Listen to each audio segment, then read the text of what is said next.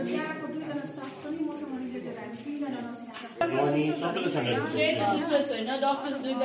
हामी एउटा मात्रै छ अनि त्यसले गर्दा हुनुपर्छ त्यही त पहिलादेखि चाहिँ दुईटा डक्टरै हो यहाँ दुईटा खासमा भन्नु तिनजना एकजना छुट्टेपछि त दुईजना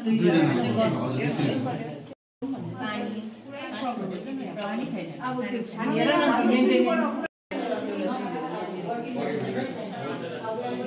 त्यो हो त्यो चाहिँ यो मेन है माथि चाहिँ डेली ए माथि चाहिँ है म्यानेज वाटर मेन्टेनेन्स चाहिँ ट्याक्कै गर्दैन लेबर वार्ड राम्रो रहेछ कि त मेन्टेनेन्स चाहिँ साँच्ची नै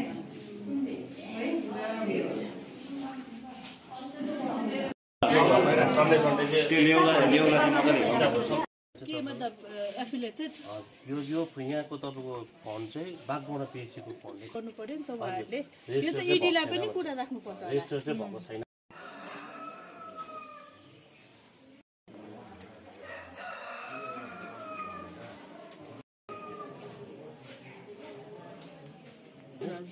यही कुरा त्यही मैले भन्दा जति अब इन्फर्मेसन अब तपाईँहरू पाउनु भएन डिटेल अब यो वास्तवमा चाहिँ किन यो यो हालतमा त्यसरी पनि मनमा दुखाएदेखि हाम्रो मान्छेको एउटा कन्सेप्ट छ एउटा प्रथा चलेको छ कि हामीले गरेको होइन त्यसलाई नस्याहारौँ बुझ्नु भएन। यो जुन जुन टाइममा जस्तो पिरियडमा बनियो अब त्यसलाई अलिकति नेग्लेक्ट गरेको जस्तो देखिरहेको थियो। यो मात्र होइन। यो मात्र होइन। हामी देख्नु पाउँछौँ सुकुनामा BB private sorry BB private high school. त्यसलाई पनि एकदम खण्डर बनाएर छोडिदिएर अर्को स्कुल त्यहाँनिर छ। किन हामीले गरेको होइन यो? हामीले अर्कै गर्नुपर्छ।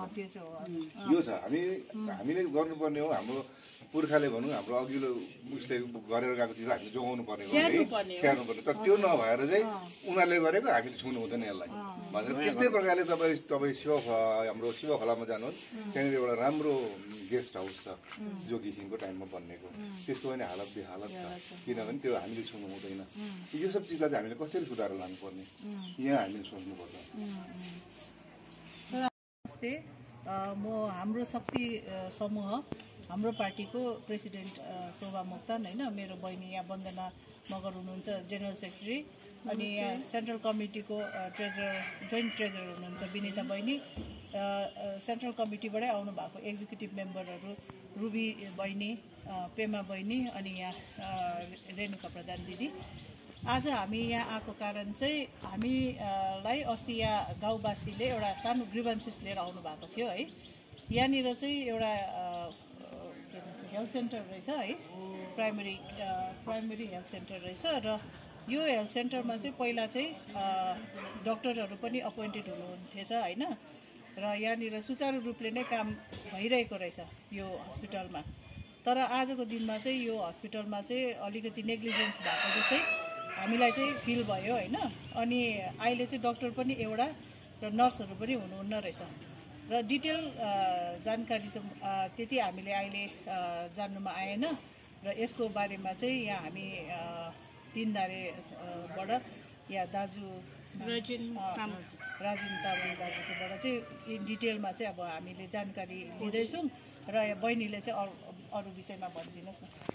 नमस्ते म वन्दना मगर शक्ति समूहको जेनरल सेक्रेटरी हामी चाहिँ यहाँ माथि हामी दार्जिलिङ सेन्ट्रल कमिटी हाम्रो पार्टीबाट आएको यहाँ भाइहरूको जनगुनासो लिएर आउनु भएको थियो र त्यही कारणले चाहिँ आज हामी भिजिट गर्नु आयो।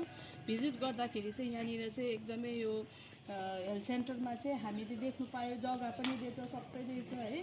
अन्त घैयाबारीमा आएर हेर्दाखेरि चाहिँ यस्तो राम्रो नेचुरल है सबै हावापानीको राम्रो भएको ठाउँमा यस्तो राम्रो जग्गामा चाहिँ अलिकति नेग्लिजेन्सी भएको जस्तो लाग्यो र यहाँनिर चाहिँ दुईवटा डक्टरको पोस्टकोमा चाहिँ वान एउटा डक्टर मात्रै हुनुहुँदो रहेछ अनि हप्तामा तिन दिन उहाँले भिजिट गर्नु हुँदो रहेछ अन्त दुईजना चाहिँ सिस्टर हुनुहुँदो रहेछ अनि तिनजना चाहिँ डेपुटेसनमा रहेछ अन्त सिक्सटिनजना चाहिँ यो हाम्रो कन्ट्राक्ट बेसिस स्टाफहरू हुनुहुँदो रहेछ अनि पहिला चाहिँ यहाँनिर डेलिभरी केसेसहरू पनि हुन्थ्यो रहेछ।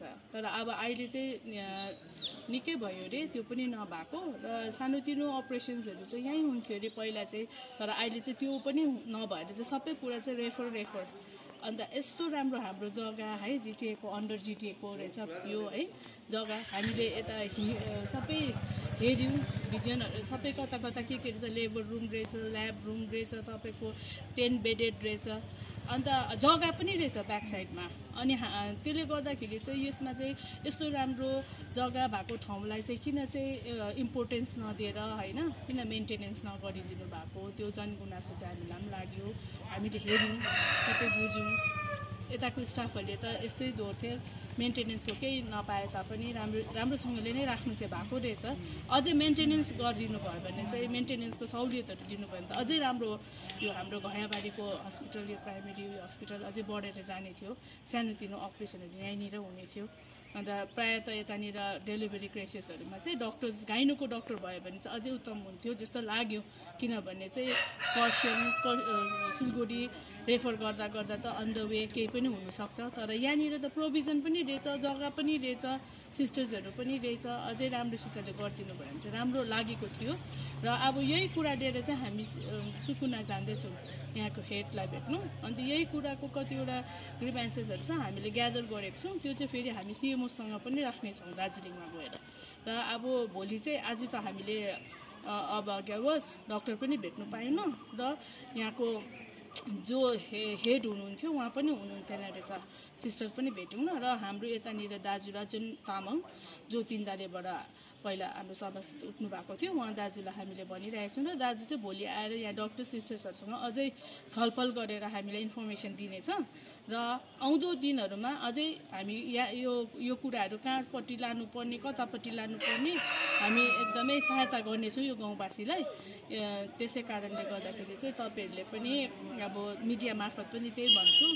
अब यो क्षेत्र चाहिँ एकदमै राम्रो लाग्यो। मलाई त लोभ पनि लाग्यो किनभने नेचरल वाइज जग्गाहरू पनि राम्रो रहेछ र यो हस्पिटललाई चाहिँ अझै माथिसम्म बनाइदिनु भयो भने चाहिँ राम्रो लाग हुनेछ।